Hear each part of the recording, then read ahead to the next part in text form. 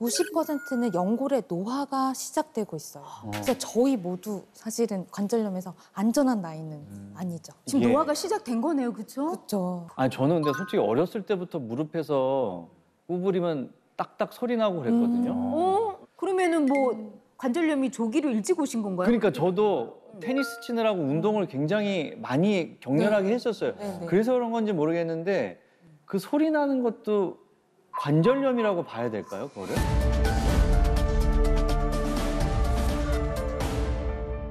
제가 소리를 두 개를 한번 들려보, 오, 예. 들려볼 테니까요. 네. 어느 쪽 소리에 가까운지 한번 말씀해 주시겠어요? 예.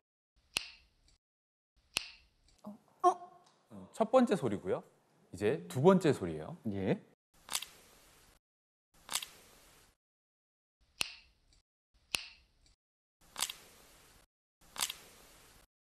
그러니까 첫 번째는 약간 짧게 뚝, 네. 어. 네, 뚝 이런 소리. 네. 그게 제가 잘 나는 네네. 소리예요. 저도 어. 지금은 똑 소리가 나는 것 같아요. 네. 통증은 없고. 네, 보통은 대부분은 첫 번째 소리가 나는 게 이제 예. 대부분인데요.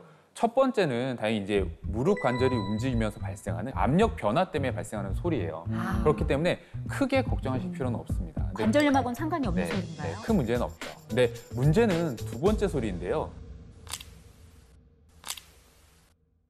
이렇게 약간 뿌드득 약간 갈리는 듯한 소리는 이게 전형적인 무릎 관절염 환자의 소리죠.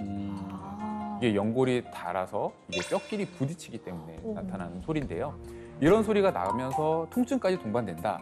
이럴 때는 꼭 검사를 한번 받아보시는 걸 추천드립니다. 네. 네. 근데 제일 궁금한 거는 제가 알기로는 연골은 한 번 다르면 음. 재생이 안 된다. 그러니까 네. 무섭죠. 우리 연골이 4mm 정도로 아주 얇잖아요. 너무 얇아. 네, 이걸 평생 써야 하는데 다르면 이게 사실 재생이 안 돼요. 음.